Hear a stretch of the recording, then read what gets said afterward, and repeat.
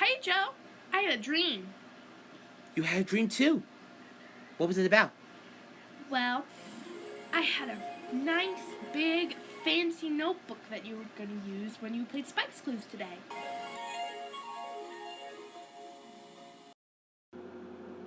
Really? That must have been a really great dream. Oh, but I like my notebooks just fine. Thanks, Night Table Drawer.